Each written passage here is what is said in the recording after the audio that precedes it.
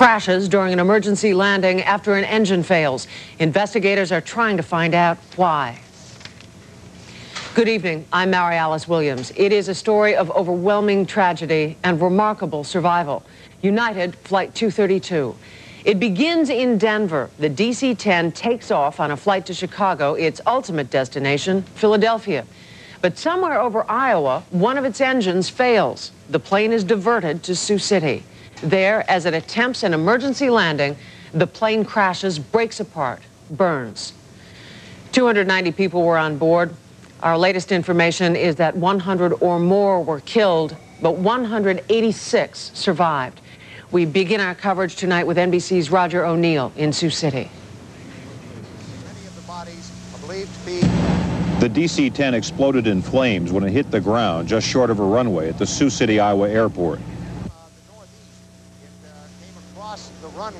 The only discernible piece left of the big plane was what appears to be a section of the fuselage. The pilot's first report of trouble was that he blew the number two engine, the one in the tail of the plane. While there was nothing left of the United jet, there were survivors, including some who walked away from the crash. United Flight 232 left Denver en route to Philadelphia with an intermediate stop in Chicago. It was fully loaded, 287 passengers and a crew of 11. United's chief DC-10 training manager, Mike Downs, told NBC News he cannot believe the plane lost all of its hydraulics, as has been reported. Downs said a DC-10 has eight backup systems to its three main hydraulic pumps, and there has never been a total failure before. The United pilot at the controls of the ill-fated plane was talking with company maintenance managers in San Francisco for at least 25 minutes before the plane went down. United classified the problems aboard the plane as a red alert, indicating grave problems. I could not speculate what, what occurred. Obviously, the accident occurred on landing in an emergency situation. The DC-10 almost made it, missing the runway by just 75 feet. He looked like he had enough altitude to make to make the runway, but at the last minute he lost altitude and uh, he crashed. You see what the results are. Roger O'Neill, NBC News, Sioux City, Iowa. The plane had been delayed briefly in Denver with electrical problems. David Landsberger was one of the passengers aboard that flight. He joins us now from Briarcliff College near Sioux City. David, can you tell us what happened from the moment you knew there was trouble? Well, uh, about a half an hour before we crashed, there was an explosion, and I guess that that was our first sign. We lost some altitude, um, but they announced that we'd be okay. We'd just be a little late, um, and uh, everything seemed fine for 10 or 15 minutes, and then the plane started kind of rolling back and forth, and the engines went powered up and powered down a few times. Did the pilot warn you that you were in trouble? Yeah, around 15 minutes before or 10 minutes before, he said that we would have to uh, divert and land in Sioux City. Uh, and he said that he wasn't going to fool us, that it was going to be an extremely rough landing, uh, and that the stewardesses would teach us how to brace ourselves and how to evacuate in case it became necessary. And then they did that, and we drilled a couple times on how to brace ourselves and and uh, where to go and which exits were closest to us. And uh, four minutes before, they warned us that we were going to touch down. And then about two minutes before, we were told to brace ourselves, and we all braced ourselves. And that's when then we hit. We hit real hard. That's when I cut my head a little bit. Describe what happened. Did the fuselage fill with smoke immediately, David? Did no, the emergency exits work as, as you were instructed to use them? Well, it all kind of went topsy-turvy because we turned upside down. Uh, we skidded down the runway on our sides for a while and then flipped upside down and we skidded down upside down. And when we came to a stop, we were all hanging from the ceiling, uh, strapped to our seats. Um, I let myself out and the people around me did. And uh, the emergency door we were supposed to go out, we couldn't find. It was closed. It wasn't open. And we looked the other way and we could see daylight. So we all started heading for the daylight. There was no smoke. There was no panic. We just started walking down the aisle, which was really the ceiling, climbing over the debris and the overhead compartments and stuff towards daylight. And we just stepped out basically out of the middle of the plane into the cornfield. There was just no door. There was no end to the plane. We just stepped right into the middle of the cornfield, and then everybody just started saying, "Get away from the plane! Get away from the plane!" And we started running down the cornfields, you know, to get to get away, all in the same basic direction. Um, but I didn't see any smoke a, a little bit up front. I saw, which is why I headed towards the back. Until I got like a couple hundred feet away from the plane, I turned around and I saw the smoke, and I I just didn't even believe what I saw when I turned around. I know that when events are happening that fast, David, all you can think about is survival. At what point did it dawn on you what had really happened?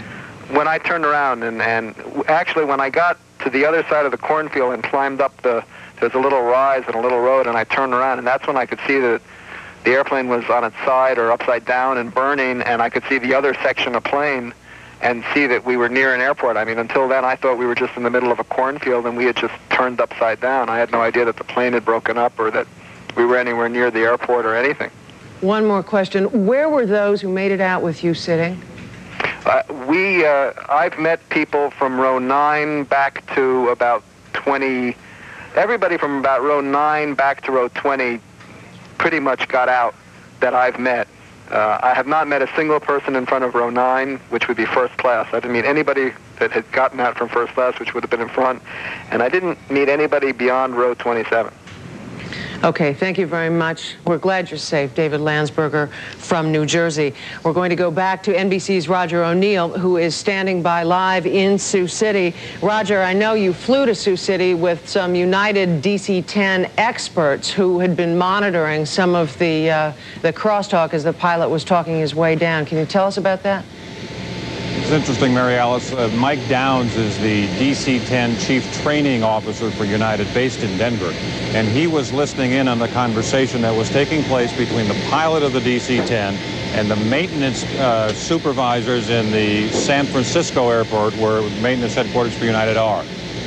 That conversation, according to Mr. Downs, one, the pilot never said to them that he had total hydraulic failure. And in fact, Downs says he can't believe there was total hydraulic failure because this airplane circled this airport three times before it crashed. If you had total hydraulic failure, Downs thinks it would have crashed right away. Another interesting piece of information that just came in, 50 miles east of here, east of Sioux City in Alta, Iowa, in a field, there is a large piece of an airplane. It is believed to be from the tail section of this DC-10, 50 miles east of here. And that might have happened while the pilot was making concentric circles as he tried to, to land at Sioux City? One of those three circles, uh, obviously it came off during that time. The pilot almost, in fact, made it to Sioux City, Mary Alice. He landed on one of the closed runways. It was certainly still operable to handle an emergency. But he landed 75 feet to the left of the center line of that closed runway. That's how close he came to landing safely here at Sioux City. Roger, you've said that uh, the experts with whom you spoke said that there were eight redundancy hydraulic systems in that plane, that there was no way that the hydraulic systems could have all failed, and that the pilot didn't say so. Somebody said so to federal officials because we've been hearing that for about five hours now. Can you clear that up for us? Well, as I understand it from Mr. Downs, who again was listening to the conversation between the pilot and the maintenance people in San Francisco, the pilot was talking to them. The co-pilot was talking to the air traffic controllers. One or the other may have said one or another thing. But Mr. Downs said in the conversation that he heard, the pilot never said that he had total hydraulic failure. And in fact, there has never been total hydraulic failure on a DC-10 since this fleet has been in the air. There's three main hydraulic pumps, one to each engine. There are eight backups to that and three backups after that. So there's some 10 or 11 backup systems of the hydraulic systems. That's not to say, however, that it may not have happened right prior to the, to the landing on the ground. Okay, thank you very much, Roger. Roger O'Neill. There are always a lot of unanswered questions and some contradictions as investigators try to see, seek through the, the wreckage as to what happened. And uh, National Transportation Safety Board team is on its way to the crash site. NBC's Andrea Mitchell has been with them through the day. Andrea, what have you got? Mary Alice, federal aviation officials say that the pilot was talking to air controllers all the way down as he struggled to control his plane. There is an obvious conflict here, they say that the cockpit was talking to the air traffic controllers. It is conceivable it was the co-pilot, not the pilot. But they say, according to their information, that the pilot first reported engine failure in engine two. That's the rear engine here at the back of the plane. He then, they say, reported complete failure of the hydraulic systems, the systems that control the wheels, the flaps, and other control surfaces on the wings and the tail. And they still say they have no reason to doubt that report. Officials are speculating that parts from this failed engine here penetrated the fuselage, damaging the control systems. They say the pilot then had a very difficult time bringing the plane down, doing several 360 degree turns, but was able to crank down his landing gear. Now, tonight, a crash team, as you say, left Washington to join investigative units at the scene. Among them will be the um, power plants group, the systems group, which will look at uh, the operation of the aircraft systems. Power plants will look at the engines. We'll have a structures group that will be looking at the airframe, a um, operations group that will be looking at the operation of the aircraft, the background of the pilots, also a human performance group, a weather group, and a survival factors group. The plane was 15 years old. Tomorrow, officials will examine its maintenance records. The Associated Press is now reporting that federal records indicate past problems with the very engine suspected of failing just before the crash. By the way, officials are very hopeful of recovering the flight recorder, and perhaps that will clear up this uh, very important contradiction between what Roger O'Neill was hearing from United officials and what federal officials are saying they heard from the cockpit. Mary Alice? Okay, thank you very much, Andrea. This morning, Rabbi and Mrs. Avraham Brownstein of Denver put their nine-year-old son, Yisroel, on his first trip on an airplane all by himself. It was United Flight 232. Brownstein was going to Philadelphia to visit his buddies. First plane in his life. And Srully. And he's alive. He made it. And he asked the social worker. Can you okay. stop? Okay. No, we want to we go. want to go to no, okay. All right. No, there's My plane. name is, I don't want to miss the please. plane. What's your name? You're not gonna- Are you going to Sioux City We're now? going to Sioux yes. City. United has provided a flight for those who want to go at 640. Rabbi Brownstein, what's your first name? His na- my first name is Avraham. Uh, his name is Srully, and and he's okay. He broke his arm. He always said he wanted to have a broken arm like his other friends. Well, now he's got one. Joy on a day that will not soon be forgotten. Terrible. Tra- United 232. From CBS News headquarters in New York, here is Charles Kuralt. Good evening. United Flight 232 was bound from Denver to Chicago this afternoon when an engine apparently blew up over Iowa, damaging the tail of the plane. The pilots reported complete hydraulic failure. They said they had no flaps, very little control of the plane, but they worked desperately to bring the plane into the airport at Sioux City for an emergency landing. They nearly made it. But a wing touched the ground, the plane cartwheeled and broke up and burst into flames. 181 survivors were counted at local hospitals a short time ago, some of them badly injured but alive after that spectacular crash.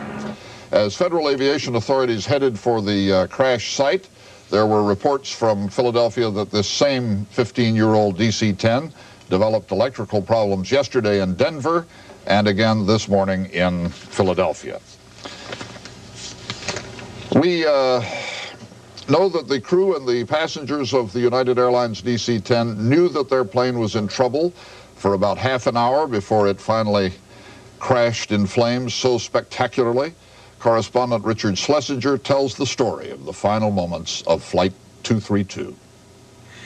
Videotape of the cartwheeling wreckage is chilling, and it is amazing that anyone lived through the crash. When the right wing dipped, it slid on the runway. Oh, geez, I know, about 100 feet.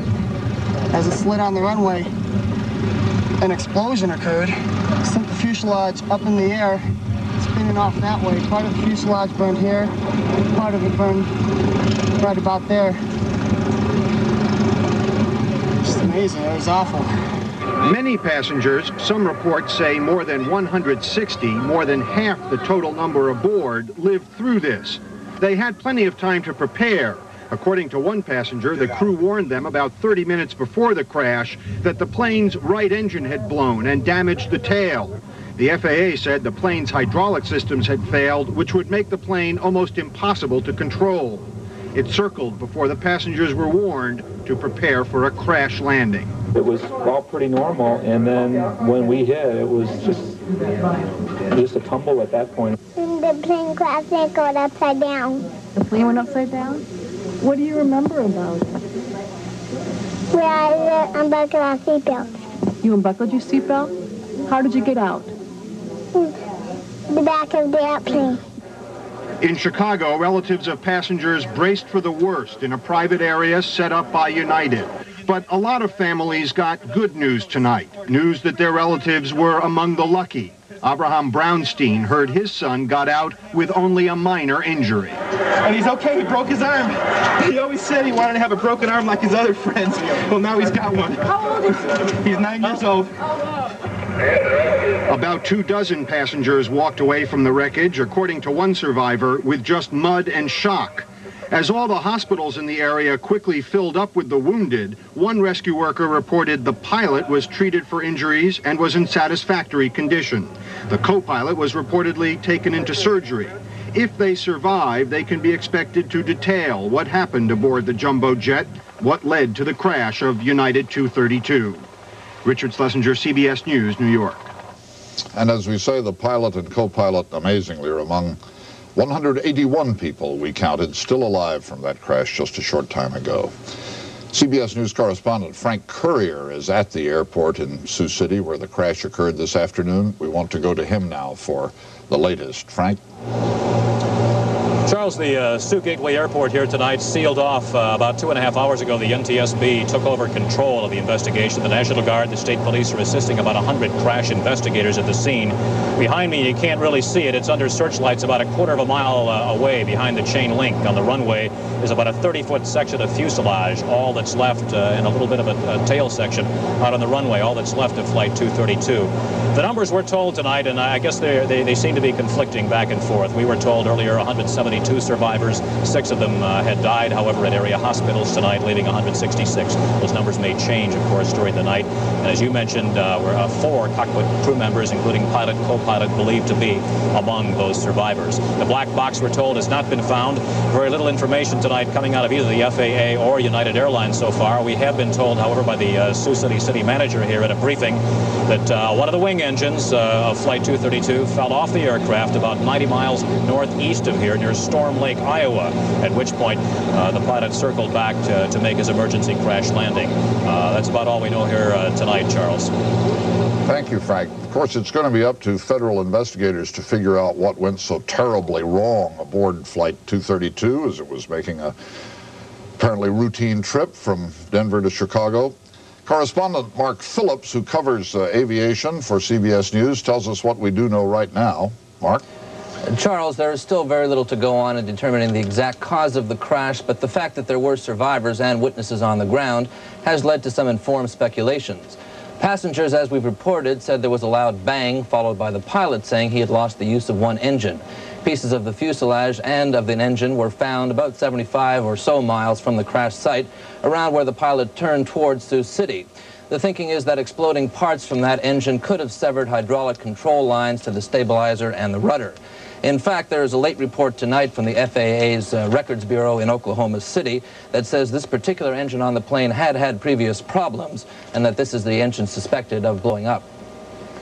However, NTSB investigators who left Washington for Sioux City this evening will be looking at why the backup hydraulic system or the mechanical cable system may have failed as well. We'll have a structures group that will be looking at the airframe, a um, operations group that will be looking at the operation of the aircraft, the background of the pilots. The pilot radioed there had been complete hydraulic breakdown. That is puzzling to aviation experts, but it is clear there was significant loss of control. The report we had is that the airplane could only make turns to the right.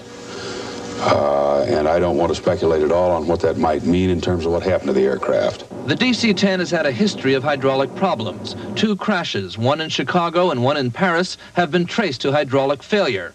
In fact, there were scores of minor problems with early versions of the plane that led the FAA to require a major overhaul of the DC-10's hydraulic system.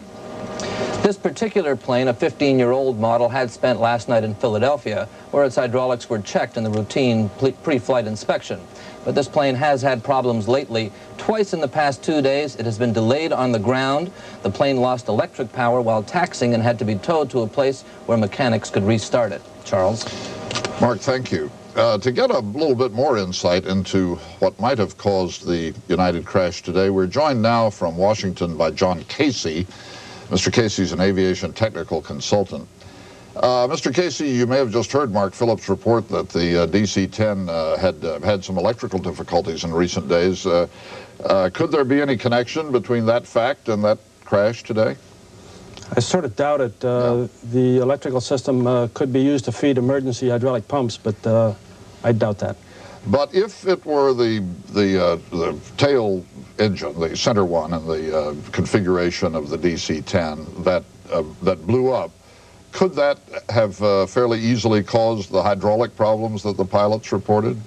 Yes, sir, it could. It could have caused a failure of uh, the systems feeding, feeding the uh, stabilizer and the elevator, and possibly the rudder, and also possible cable damage. Uh, well, if you lose uh, your hydraulic systems on a DC-10, uh, how do you how do you control the airplane? Uh, there are usually redundant systems. I'm not an expert on a DC-10, but there are always redundant systems on all the transport category airplanes, either hydraulic or manual. Thank you very much for joining us, Mr. Casey.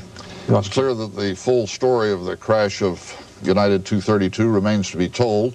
Many people were killed this afternoon, but this crash will be remembered for the numbers of people who were not. Uh, among them was a man named Cliff Marshall from Columbus, Ohio, one of the passengers. He said the plane came down, it bounced twice, it flipped into the air. We were sitting there upside down. It began to fill up with smoke. He said, then God opened a hole in the basement, the bottom of the plane, and I pushed a little girl out. He said, I grabbed another, kept pulling them out until they didn't come no more. Then he said he ran. Amazingly, Cliff Marshall and 180 other people, at last count, passengers and crew aboard United 232, survived a terrible airplane crash today. I'm Charles Kuralt, CBS News, New York. Good night.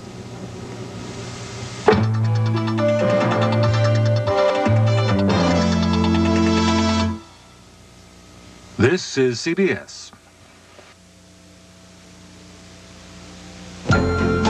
The home run.